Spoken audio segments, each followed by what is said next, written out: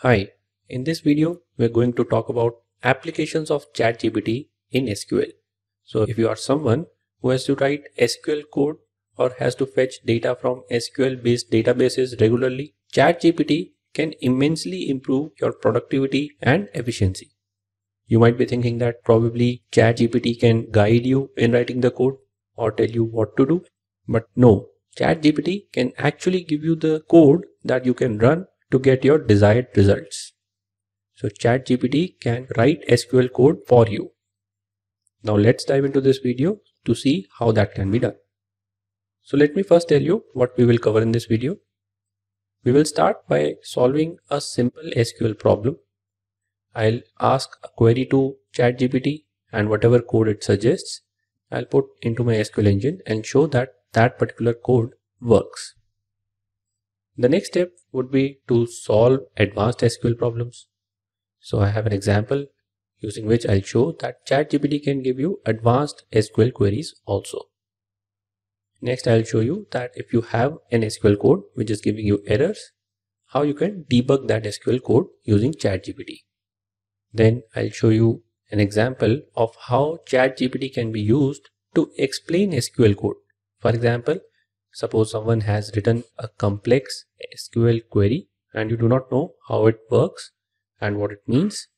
You can put that code into ChatGPT and ask it. It will tell you what that code means. Lastly, we'll talk about advanced data analysis tool.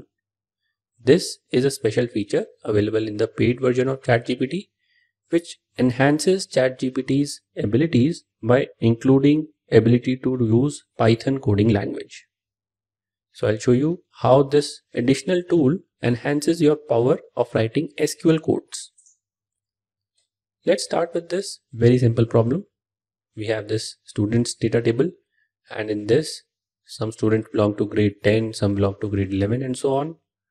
And we want to retrieve names of all the students who are in grade 10. Now if you know SQL, you know that this is a very simple problem. You want to select the names from the table student where grade is 10. So this is a very simple SQL query. If you know SQL, you can write it in probably 5 seconds.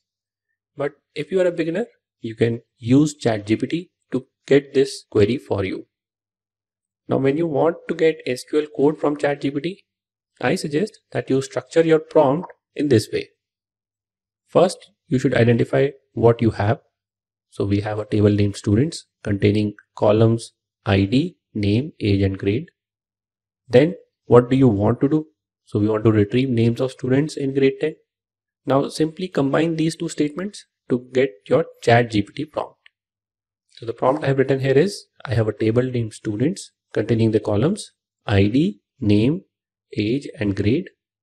Give me PostgreSQL code to retrieve names of students in grade 10. Specifying which dialect of SQL you are using is also very important so that ChatGPT can give you correct syntax for the code. So here I have written PostgreSQL. If you are using MySQL, you can write MySQL code here to get the syntax in that particular dialect. Now let's copy this prompt, paste it in ChatGPT and see what it does. So here I am on the ChatGPT website I'm currently using 3.5 although I have the plus version and I can use ChatGPT 4 also. But because I want to show you that the free version is also able to do this and write SQL code I'll be writing this prompt in ChatGPT 3.5 so I've written the prompt here send this message. So here's the code that we need to run. Let's copy this code go to our PostgreSQL user interface. So I'm using pgadmin to run my PostgreSQL code I have already created this table called students. Let's run the query suggested by ChatGPT to see if it works or not. Let's run it. And you can see that Alice and Carol are in the grade 10. So the point of this simple example is that ChatGPT can write the code for you. And if you copy paste that code in your SQL UI, you can see that it runs also. Now let's take an advanced level problem here I want to identify salespeople who have made more than one sale in any seven day window. And the data that I have is in this format. So my table name is sales and I have dates the product sold, amount and salesperson ID. Now I want to identify whether any salesperson has made more than one sale in any 7 day window. So if I have data like this, performing an analysis of any 7 day window is going to be very complicated. There are two ways of doing this, one by self join or the other is to use windows function. So let's see what ChatGPT suggests in this scenario. Again, I'll do the same thing. I'll mention my haves and I'll mention my wants. I'll combine them to create my ChatGPT prompt and let's put this prompt into ChatGPT to see the response. So here I have copy pasted my prompt. I have a table named sales containing these three columns that I want to have in my result. Give me PostgreSQL code to identify salespeople who have made more than one sale in 7 day window. You can see that it has suggested me a code that does a self join and a window function. So it is doing a self join with the same table and it is using windows function. Now I have not created this table so I will not be able to check whether this code works or not but most probably this code will work. In the scenario that a code does not work and we get an error, we can debug the code also using ChatGPT. So let's see how ChatGPT does that. So here's a simple example of debugging SQL code. I ran this code where I wanted to get total bonus given to the employees by doing sum of bonus. But I got this error saying function sum does not exist. Now, if you know what this means, this basically means that this bonus column is not numerical, which is why you cannot sum it. So you need to cast the bonus variable to integers to solve this issue. But many times we get errors which we do not understand. You just need to give the code and the error to ChatGPT and ask it to solve it for you. So here is my prompt for this. I ran the following code, give the code, and I got this error, give the error. How can I resolve it? Let's go to ChatGPT to see whether it is able to give us correct code or not. So here I'm going to copy paste that prompt and run it. So it is telling us that the variable is in character varying type and you need to have numerical type, which is why it is suggesting either you alter the table and the column type to numeric or you can use this query which uses case statement to filter out non-numerical values.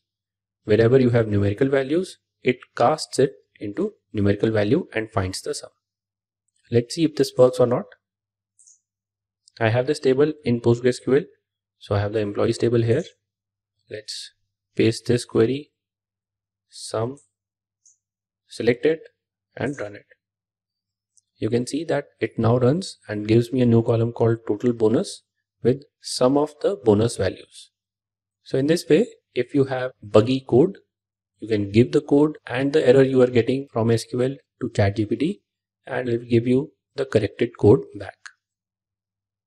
The next use case is sometimes we have complex SQL code which is not written by us. So one of our colleague may have written some complex SQL code and we may not understand how it works or what output it is giving. For example, I have this complex query running on my database. I do not understand what output it gives. To understand what analysis is being done by the query, we can give this query to ChatGPT and ask it what this query is doing. So let's copy this query and ask ChatGPT to decode what this query does. So here I'll write explain what the following code does. Shift enter to get into the next line and paste your code and run it.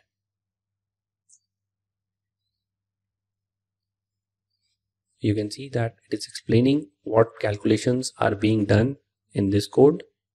And lastly, it has given us a summary that this code is used to find and list months where the cumulative sales of products in each category exceed the average sales for the year 2022.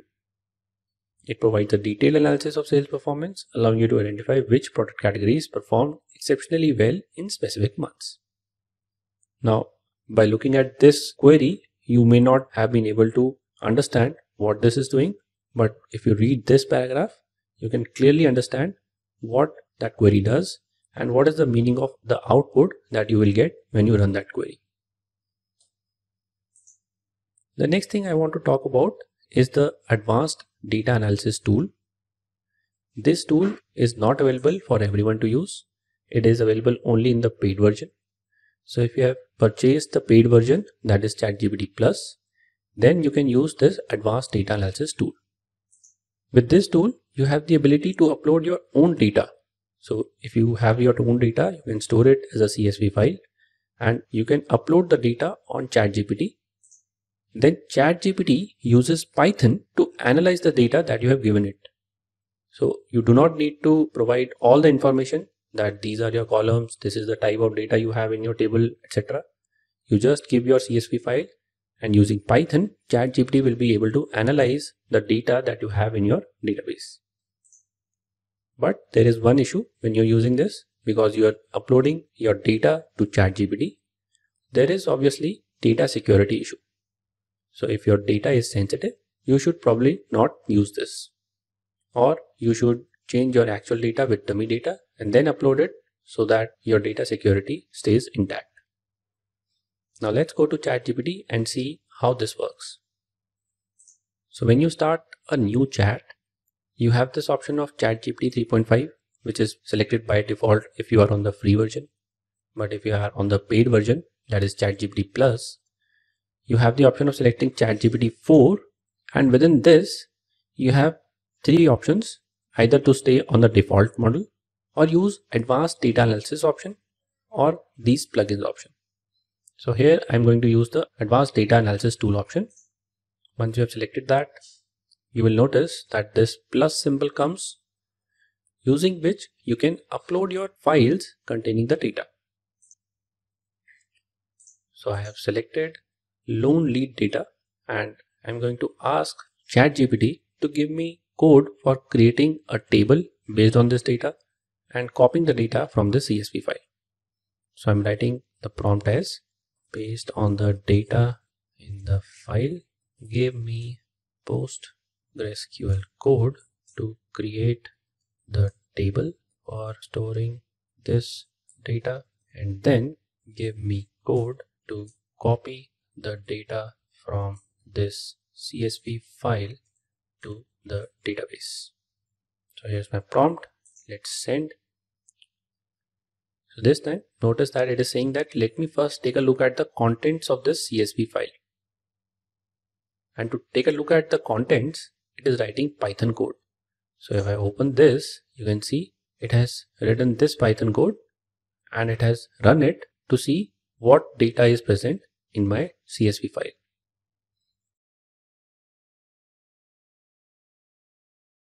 you can see that it has given me two queries. First is a create table query where different columns be created but these columns are having data type based on the analysis that it has already done.